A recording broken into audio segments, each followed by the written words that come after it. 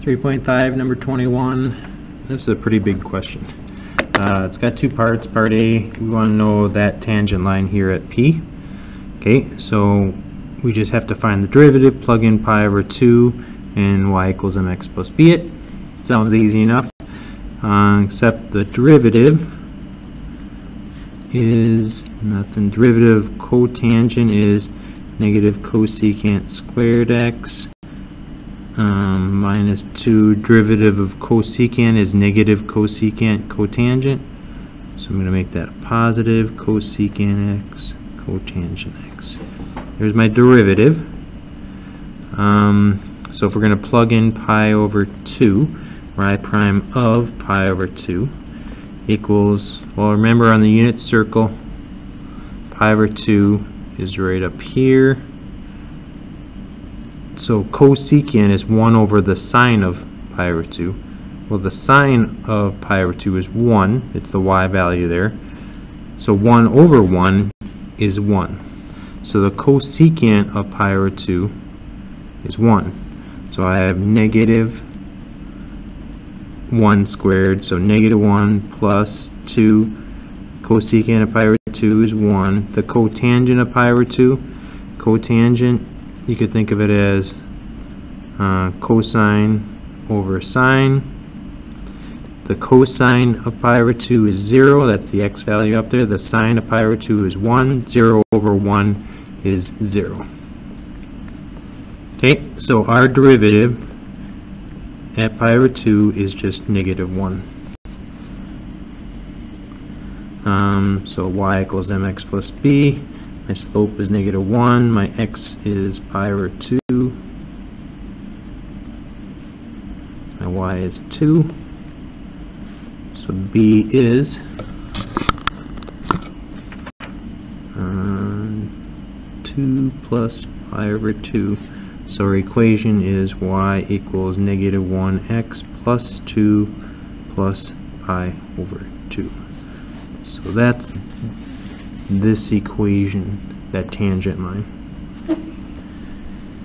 Alright, so part B, uh, we want to find the equation of this, the horizontal tangent at Q. Okay, so we know that the derivative is 0. So we can find our derivative, which we have right here, set it equal to 0, and that's our horizontal tangent at Q. So here's my derivative.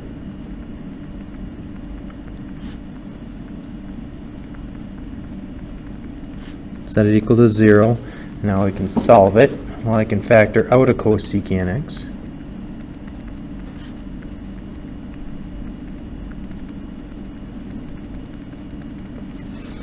Uh, we can set each of those factors equal to 0. So cosecant x equals 0. Negative cosecant x plus 2 cotangent x equals 0. Um, so when is cosecant equal to 0? Well, remember, um, here's sine, y equals sine x, and cosecant is this curve right up here. so when is it 0? It never gets to the x-axis. It's 1 or greater and negative 1 or less. So it never goes in this interval, so there's no solution there. Um, solving this trig equation, I'm going to, when in doubt, write it in terms of sines and cosines. So cosecant is negative 1 over sine x plus 2 cotangent is cosine over sine.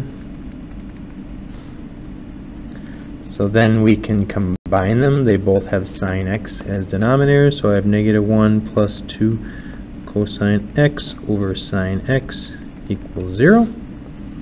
Now the only way a fraction could be 0 is if the top is 0. So we can kind of ignore the bottom and discard it. So I get negative 1 plus 2 cosine x equals 0.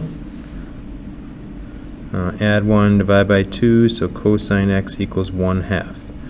When is cosine 1 half? Well, cosine is 1 half cosine is positive in these two quadrants.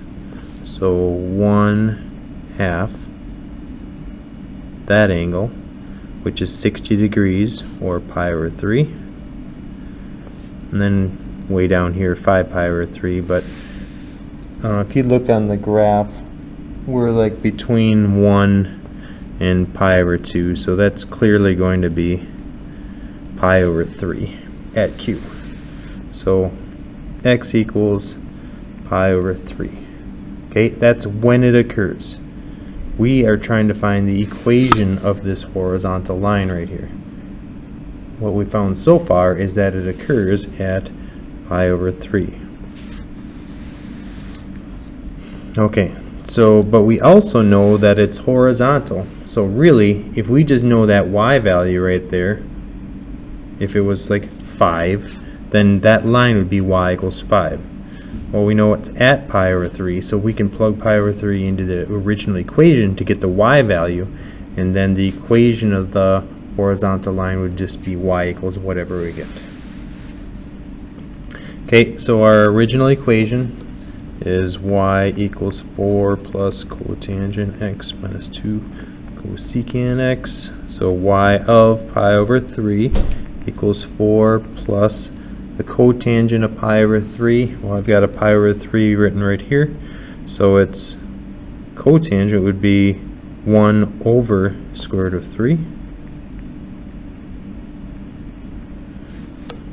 Um, the cosecant would be the reciprocal of sine. So it'd be 2, 2 over square root of 3.